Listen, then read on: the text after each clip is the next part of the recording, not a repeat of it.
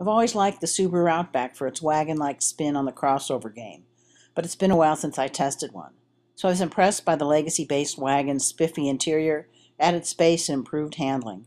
Redesigned for the 2015 model year, the Legacy starts at 25745 for the four-cylinder and jumps to nearly 34 for the six.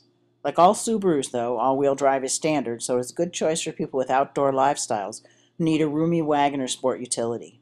While it remains unique as a crossover wagon, the 2015 Outback is far more sophisticated than its predecessors, especially when it comes to roominess, road manners, technology, and interior finesse. For the full review, go to phoenix.bizjournals.com and search for Subaru Outback.